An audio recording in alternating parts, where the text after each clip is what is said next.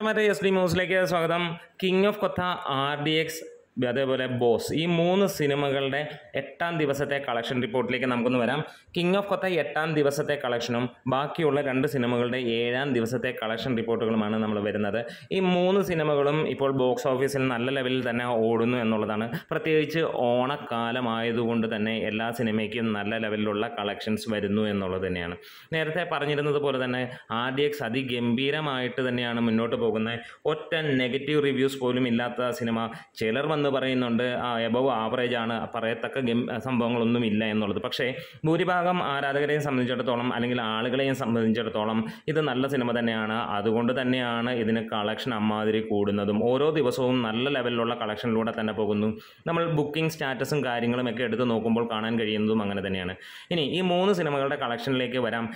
രണ്ട് സിനിമകളുടെ ഏഴാം ദിവസത്തെയും കിങ് ഓഫ് കൊത്തയുടെ എട്ടാം ദിവസത്തെയും കളക്ഷനിലേക്കാണ് ഇവിടെ രാമചന്ദ്ര ബോസ് തീർത്തും നേരത്തെ ഉണ്ടായിരുന്ന റിവ്യൂവിൽ തന്നെ കണ്ടിന്യൂ ചെയ്യുന്നു. നെഗറ്റീവ് റിവ്യൂവിൽ തന്നെയാണ് ഇപ്പോഴും പോകുന്നത്. എന്നിരുന്നാലും സിനിമ ഇതിനോടകം തന്നെ നാലര കോടിക്ക് മുകളിൽ നേടുകയുണ്ടായി എന്നുള്ളത് തന്നെയാണ്.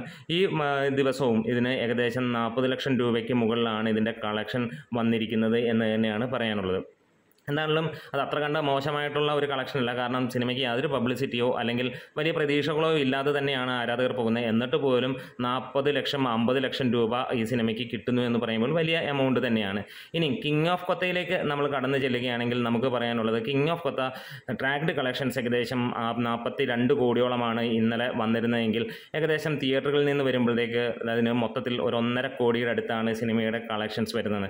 അത്ര ഗംഭീരമായിട്ടുള്ള ബുക്കിങ്ങും കാര്യങ്ങളും ഒന്നും ഓൺലൈനിൽ കാണാനില്ലെങ്കിലും തിയേറ്ററുകളിൽ ചെല്ലുമ്പോൾ എന്തായാലും നല്ല ലെവലിലുള്ള തിരക്ക് കാണുന്നു. പല സ്ഥലങ്ങളിലും ഹൗസ്ഫുൾ ആകുന്നുണ്ട് എന്നുള്ളത് തന്നെയാണ്. തുടർച്ചയായിട്ട് കോഴിക്കോട് പത്താമത്തെയോ എട്ടാമത്തെയോ ഷോ ആണ് ഹൗസ്ഫുൾ ആകുന്നത് എന്നുള്ളത് ഒരു വാർത്ത വരികയും ചെയ്തിട്ടുണ്ടായിരുന്നു. പല സ്ഥലങ്ങളിലും നല്ല ലെവലിലുള്ള കളക്ഷനുമായി പോകുന്നു. ഇന്ന് രണ്ടാം ആഴ്ചയിലേക്ക് കടന്നു കഴിഞ്ഞപ്പോഴും ഇരുന്നൂറിന് മുകളിലുള്ള തിയേറ്ററുകളിലാണ് സിനിമ നിൽക്കുന്നത്. ഇതിനോടകം തന്നെ സിനിമ നാൽപ്പത് കോടിയിലേക്ക് എത്തിയതായിട്ട് അറിയുന്നു. അത് കൺഫേം ആയിട്ടും കാര്യങ്ങളൊന്നുമില്ല പല ആളുകളും അത് മുപ്പതും മുപ്പത്തിരണ്ടും വേണമെങ്കിൽ ഇരുപതാക്കാനുമുള്ള പലരും ഉണ്ട്. അത് അവരുടെ ഇഷ്ടം എന്നുള്ളതാണ്. സാധാരണ ലെവലിൽ നമ്മൾ കാണുമ്പോൾ ഈ സിനിമയുടെ ഒരു കളക്ഷൻ എന്ന് പറയുന്നത് വേൾഡ് വൈഡ് ആയിട്ട് നാൽപ്പത് കോടിക്ക് മുകളിലേക്ക് എത്തി എന്നുള്ളത് തന്നെയാണ്. ഒഫീഷ്യലായിട്ട് യാതൊരു കൺഫർമേഷനും ഈ സിനിമയ്ക്ക് വന്നിട്ടില്ല. അത് പ്രത്യേകിച്ച് നമുക്കറിയാം ദുൽഖർ സിനിമകൾക്ക് തള്ളുണ്ടാവാറില്ല. അവർ തള്ളാനും നിൽക്കാറില്ല അതിപ്പോൾ ഏത് റേഞ്ചാണ് തൊണ്ണൂറ്റി ഒമ്പത് കോടിയിൽ നിന്നപ്പോഴും അവരത് നൂറ് കോടി ആക്കാത്ത വ്യക്തി തന്നെയാണ് ദുൽഖർ സൽമാനും. വേർ വേഫെറർ ഫിലിംസും. അതുകൊണ്ട് അവരുടെ ഒഫീഷ്യൽ ആയിട്ടുള്ള ഒരു കളക്ഷൻ കാണാൻ വേണ്ടി തന്നെയാണ് നമ്മളും കാത്തിരിക്കുന്നത്. മൊത്തത്തിൽ നോക്കുമ്പോൾ തീർച്ചയായും സിനിമ നാൽപ്പത് കോടിക്ക് മുകളിലായിട്ട് എത്തിയിട്ടുണ്ട്. ചിലർ മുപ്പത്തി ഏഴ് പറയുന്നുണ്ട് മുപ്പത്തി ഒൻപത് പറയുന്നവരുമുണ്ട്. അതൊക്കെ എങ്ങനെയാണ് എന്ന് നമുക്കറിയാം. എന്തായാലും ഈ ഒരു റേഞ്ചിനിടയിൽ തന്നെ ഉണ്ട് എന്നുള്ളതിന് നമുക്ക് വിശ്വസനീയമാണ്. എന്തായാലും മുപ്പത്തിയേഴിനും നാൽപ്പതിനും അല്ലെങ്കിൽ ആ നാൽപ്പതിനും മുകളിലേക്ക് എന്നുള്ളത് തന്നെയാണ്. എന്തായാലും ഇന്നലെയും സിനിമ ഒന്നര കോടിക്ക് അടുത്ത് തന്നെയാണ് കളക്ട് ചെയ്യപ്പെട്ടിരിക്കുന്നത്. ഇനി ആർ ഡി എക്സിലേക്ക് വരികയാണെങ്കിൽ അതിഗംഭീരം എന്ന് തന്നെയാണ് ആർ ഡി എക്സിനെ കുറിച്ച് പറയാനുള്ളത്. വേറെ ഒന്നുമല്ല. ആർ ആഡിയക്സ് ഇന്നലെയും നാല് കോടിക്ക് മുകളിലാണ് കളക്ട് ചെയ്തിരിക്കുന്നത്. അതിപ്പോൾ ബുക്ക് മേഷോ പോലെയുള്ള ടിക്കറ്റ് ബുക്കിംഗ് സൈറ്റ് എടുത്ത് നോക്കുമ്പോൾ നമുക്കറിയാം അവിടെ ഒരു പ്രത്യേകതയുണ്ട്. അവിടെ ട്രാക്കിംഗ് കളക്ഷൻ വന്നിരിക്കുന്നത് രണ്ട് കോടി പത്ത് ലക്ഷം രൂപയാണ്. ഏകദേശം നാല് കോടി ഇരുപത് ലക്ഷം രൂപ വരെ ഈ സിനിമ കളക്ട് ചെയ്യപ്പെടുമെന്നുള്ളതാണ്. കാരണം ടിക്കറ്റ് ബുക്കിംഗ് കൂടുന്ന അനുസരിച്ച് അല്ലെങ്കിൽ ഓൺലൈൻ ബുക്കിംഗ് കൂടുമ്പോൾ ശരിക്കും തിയേറ്ററുകളിലേക്ക് ആളുകൾ വരുന്നത് കുറയുമെന്നുള്ളതാണ്. ആളുകൾ വരുന്നത് കുറയുമെന്ന് പറയുന്നത് സിനിമ കാണാനുള്ളതല്ല ബുക്ക് ചെയ്യാൻ വരുന്ന കാര്യം കുറയുമെന്നുള്ളത് കാരണം ടിക്കറ്റ് കിട്ടാൻ ബുദ്ധിമുട്ടായതുകൊണ്ട്. അതുകൊണ്ട് തന്നെ കൂടുതലും ഓൺലൈനിലൂടെ ആയിരിക്കും ആളുകൾ ബുക്ക് ചെയ്യുക എന്നുള്ളത്. കിങ് ഓഫ് കൊത്ത അല്ലെങ്കിൽ ബോസിനെ സംബന്ധിച്ചിടത്തോളം അങ്ങനെ ഒരു കാര്യമില്ല. തിയേറ്ററിൽ വന്നു കഴിഞ്ഞാൽ അവർക്ക് ടിക്കറ്റ് കിട്ടാവുന്ന ഒരു അവസ്ഥയുള്ളതുകൊണ്ട് അതിനുള്ള മെനക്കെടാൻ ആരും നോക്കില്ല. കാരണം ടിക്കറ്റ് ബുക്ക് ചെയ്യുമ്പോൾ നമുക്ക് ഏകദേശം ഇരുപത്തിയെട്ട് രൂപയോളമാണ് ഏറ്റവും കുറഞ്ഞത് അതിന് ഒരു ടിക്കറ്റിന് എക്സ്ട്രാ കൊടുക്കേണ്ടി വരുന്നത്.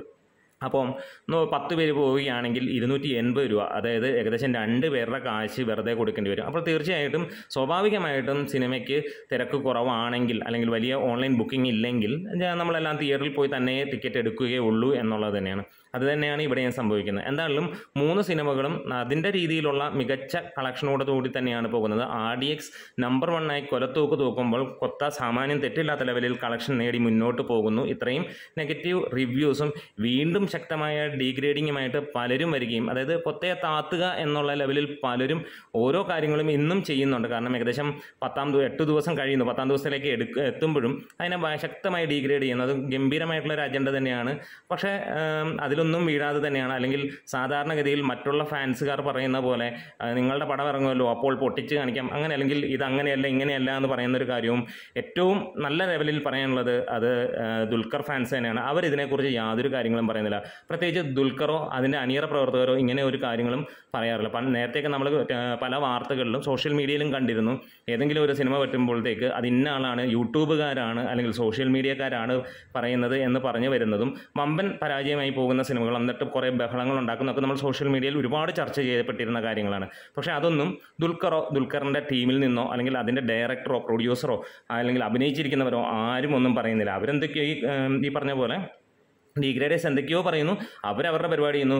ദുൽഖർ അടുത്ത സിനിമയ്ക്ക് പോകുന്നു. ഏകദേശം അടുത്ത പത്ത് സിനിമകളാണ് ദുൽഖറിന് വരാൻ പോകുന്നത്. ഈ സിനിമയും അത്യാവശ്യം കുഴപ്പമില്ലാതെ പോകുന്നു എന്നുള്ളതാണ്. പിന്നെ എടുത്തു പറയാം കാര്യം. ഈ സിനിമകൾ എല്ലാം തന്നെ മികച്ച രീതിയിൽ തന്നെ കളക്ട് ചെയ്തു പോകുന്നു. നിങ്ങളുടെ ഈ വീഡിയോസ് ഇഷ്ടമായെങ്കിൽ നമ്മുടെ ഈ വീഡിയോസ് ഇഷ്ടമായെങ്കിലും സപ്പോർട്ട് ചെയ്യണം. Thank you bros.